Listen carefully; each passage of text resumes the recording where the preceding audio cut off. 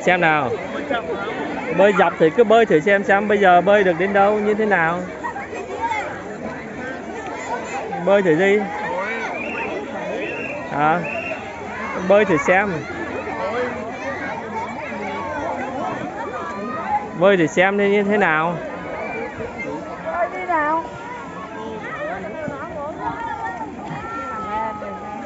Đi uh, tắm bể bơi nha bể bơi núi voi nha đây là bể bơi núi voi cho bà đi chơi.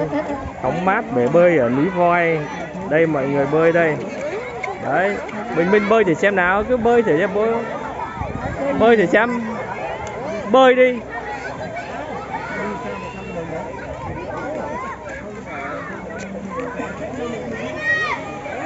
Bể bơi núi voi này, đấy.